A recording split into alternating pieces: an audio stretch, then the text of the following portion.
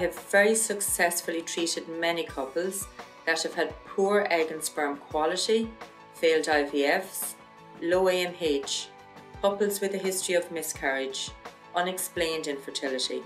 These couples have gone on to carry a healthy baby to term with the help of my treatment. Hello, I'm Siobhan and I'd like to tell you about the work that I do. I'm a registered nurse and registered midwife. I qualified as a midwife in 95. Since then I've worked in Ireland and abroad. I've worked in an IVF clinic, antenatal clinics, early scanning unit and gained good clinical experience. I also work as a herbalist and acupuncturist and I'm passionate about helping people to have healthy babies. In Chinese medicine, they say the best gift we can give to our children is their constitution. The constitution of the child is determined by the health of the egg and sperm at that second that conception takes place. Therefore, the preconceptual health of both men and women is important to help ensure they have healthy eggs and sperm.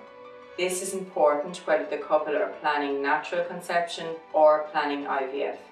The four to five months before conception happens is the most important time for the woman to keep adequately nourished, clear stagnation and dampness, for example cysts and dark clotted periods, and to help ensure that this ovarian follicle grows in a well-nourished environment. For the man, it takes three months approximately to make sperm, but if the sperm are made in a healthy body, it will help ensure they are of better quality. Alongside my midwifery, I recommend individual herbal prescriptions, specific foods for particular types, sometimes acupuncture, this individualised treatment usually really helps to boost fertility naturally. I'm also happy to work alongside the medical profession and I recognise and very much recommend certain diagnostic procedures.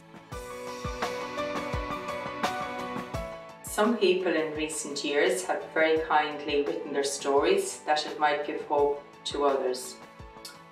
If you are suffering from fertility problems, I really hope that I may be able to help you. Thank you for listening.